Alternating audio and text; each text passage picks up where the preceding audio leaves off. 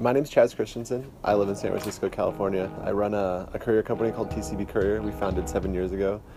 I have a software company because it's San Francisco. We provide logistics software for courier companies um, around North America.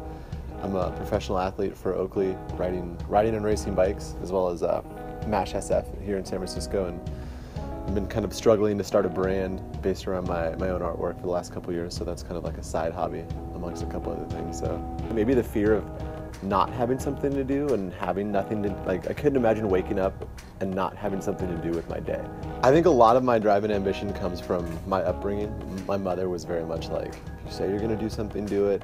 I kind of have a big mouth, so I think I get myself into a lot of uh, situations where I get like really excited about a project and I'm like, I can totally do that. We can make this happen. And then you get home that night and you're like, oh, what did I do?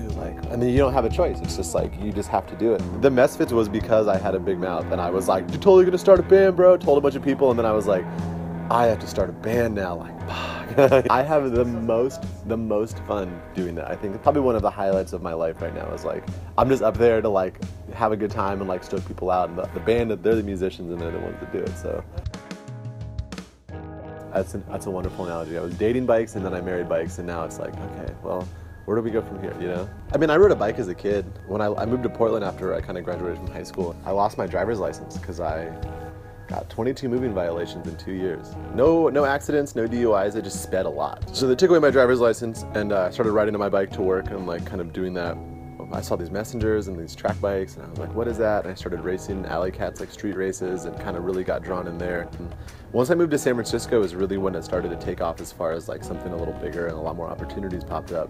I had been racing with Mash and traveling around the world, and you know, my only goal with this has ever been to like travel around the world and see as many different places. And I just saw riding bikes and racing bikes as a vehicle to do that because people would people would buy you plane tickets, and that was always my thing. I was like, so like this is all. If all I have to do is race my bike and like be stoked, like you know, buy me a plane ticket, do it. I'm good.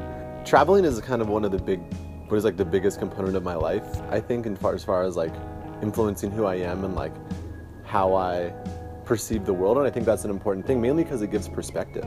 Like now when I travel I'm a lot more confident and I'm able to just like go somewhere and just like kind of make it happen and I'm okay just not having a plan. A lot of the good part about travel is like if you want to talk about influencing style is it's just like you I'm a lot more comfortable in my own skin when I travel now and a lot just like, hey, I'm just gonna do me and I know that like me doing me is gonna be great and I'm gonna meet some good people and have some good experiences.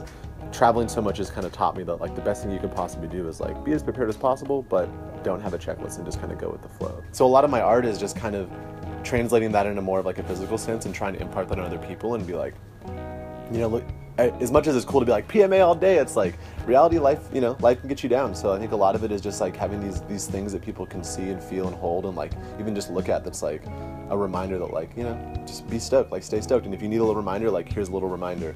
Yeah, I mean, I, I had always, I've always been like a doodler and things like that. And, you know, I used to like write graffiti back when I was in high school and like kind of eventually stepped away from that. But I've always been inter- interested in like art and doodling. Mainly for me, just like doodling and like picking up something, whether it be like a piece of paper or an object, and like just drawing on it and being like, oh, that looks cool. You know, it was something at the moment. And then it was like, whoa, like, I could get paid for this. It kind of just right place, right time opened up a door as like, this could be something that you could do that still like is something you're passionate about and keeps you in like a community and a scene that you're very much into, but is not necessarily focused based on like your results or your ability to like train 20 hours a week and like stay fit. I actually look a lot of more what people do, like how Dustin Klein has like taken his passion and like segued it to being this like amazing lifestyle for himself.